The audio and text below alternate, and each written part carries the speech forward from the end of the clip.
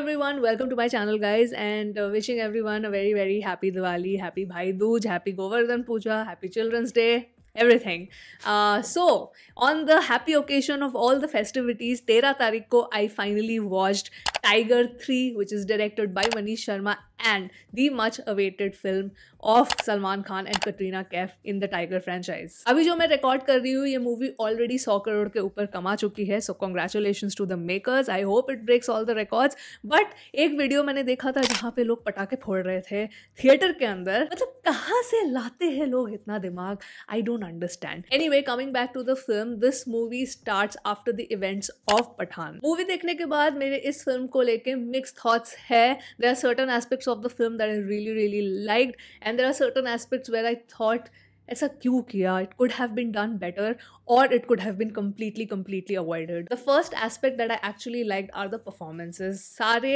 सारे एक्टर्स ने अच्छा परफॉर्म किया है। Salman Khan, Katrina, Kaif, Imran, Hashmi all of them in fact I would say that the person who actually shine more in this film is Katrina because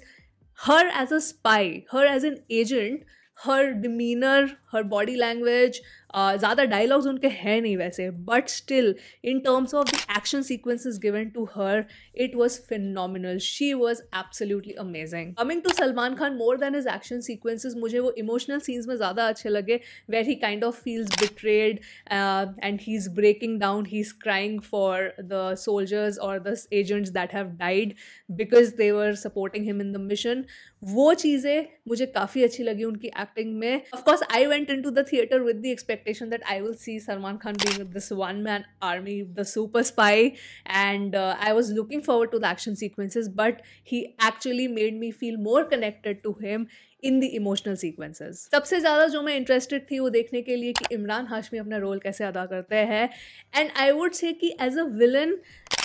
he did not get a very very meaty role मुझे लगता है कि उनको और ज़्यादा अच्छा character arc दिया जा सकता था बिकॉज़ उनकी बैक स्टोरी थोड़ी सी मुझे रश्ड लगी in screenplay but that is none of his fault. His performance was actually spectacular. And seeing Imran Hashmi after a long time on screen made me very, very happy. He actually can be a very formidable villain अगर उनको एक अच्छी script दी जाए तो जहाँ तक performances की बात है मुझे किसी की भी परफॉर्मेंस खराब नहीं लगी second thing which I like about the film is the music मुझे बीजीएम भी अच्छा लगा मुझे गाने भी अच्छे लगे मतलब गाने इतने सारे गाने थे नहीं फ़िल्म में बट जितना भी इनकॉपरेट किया, एक रोमांटिक सॉन्ग है, सलमान और कटरीना का जो स्टार्टिंग में आता है, वो काफ़ी अच्छा है। फिर लेके प्रभु का नाम जो एंड में आता है फ़िल्म के it's a good addition it's entertaining overall जिस तरह से सीक्वेंस डिज़ाइन किया गया जिस तरह से एक्शन सेट पीस डिज़ाइन किया गया है उस हिसाब से बीजीएम काफ़ी अच्छा डाला है। तीसरी चीज़ जो कुछ एस्पेक्ट्स में मुझे बहुत बहुत अच्छी लगी एंड uh, कुछ कुछ जगहों पे मुझे ख़राब भी लगी इट इज़ द एक्शन एक स्पाई फ़िल्म में एक एस्पियोनाज फ़िल्म में एक्शन सेट पीसेस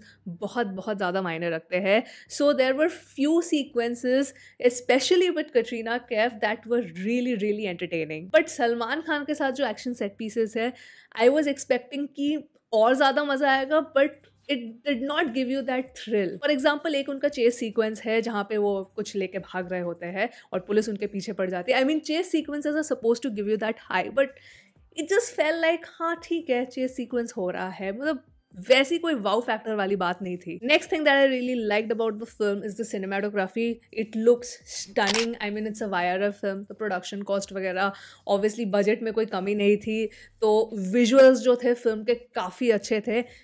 एक्स कुछ कुछ जगहों पे it was a little like you can you can make out की it's VFX but overall overall जो भी वी एफ़ एक्स किया है it is quite good and the film visually looks stunning now the things which do not work in the favour of the film जहाँ तक screen play की बात आती है कि स्क्रीन प्ले थोड़ा सा कट शॉट हो सकता था because at one point lot of people are saying कि यू नो मैंने ऐसे रिव्यूज़ भी सुने जहाँ पे लोग कह रहे कि फ़र्स्ट हाफ़ थोड़ा सा ड्रैग करता है थोड़ा स्ट्रेच करता है सेकेंड हाफ़ थोड़ा ज़्यादा एक्शन पैक्ड इनफैक्ट मेरे लिए उल्टा है। आई फील कि जो फ़र्स्ट हाफ़ है वो मुझे ज़्यादा एंटरटेनिंग लगा than second half because in first half there is a lot of context setting जहाँ पे यू you नो know, एक कैरेक्टर्स को नुआंस दिया जाता है कैरेक्टर बिल्डिंग होता है तो वो मुझे ज़्यादा रिच लगा in terms of narrative in terms of story telling second half thrilling होता अगर एक्शन सेट पीसेस थोड़े एक्साइट करते मुझे। मतलब मुझे personally it did not excite me and that is why I thought that the second half stretched a little bit because जब तक climax sequence आता है you feel that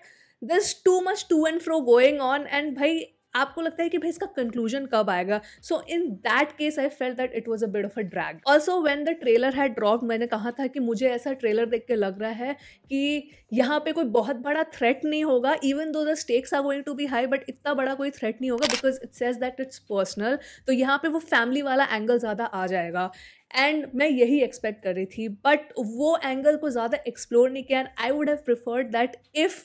you know, Imran Hashmi's character was actually going on for a personal revenge. Um, and that would have made me feel more emotionally connected to all the characters. So here I don't think when the director said that it's personal, I think they have deceived the audience because the entire threat is of a massive scale which involves the Prime Minister of Pakistan. But the first half mein jis tarah se context set ho raha tha, mujhe lag raha tha ki it is actually going to be more of a personal saga jisme Tiger involve होके एक देशद्रोही कहलाए जाएँगे। And I actually thought that moving further that would be the basis of Tiger versus Pathaan. That brings me to the second thing which really disappointed me और इस चीज़ के लिए तो मैं मतलब मैं इंतज़ार कर रही थी। I was waiting I was waiting for Shahrukh Khan cameo to happen and मुझे लग रहा था कि जिस तरह से मुझे पठान देखने के बाद सलमान खान का कैमियो मुझे इतना अच्छा लगा था उसमें। एंड उनकी जो you know that chemistry and that romance was there that was really well very well presented in Pathaan. But यहाँ पे it had to be one of the most disappointing sequences guys मतलब मुझे कोई problem नहीं है कि आप sequences को ओवर द टॉप बनाओ बट मुझे लगता है कि उसमें कॉमेडी वाला जो एंगल है वो ज़बरदस्ती घुसाया जा रहा था। आई वुड हैव प्रिफर्ड कि वो वाले जितने भी स्टंट्स कर रहे थे शाहरुख खान एंड सलमान खान मिल के I mean it could have been shown in that over the top way, but in a more swag,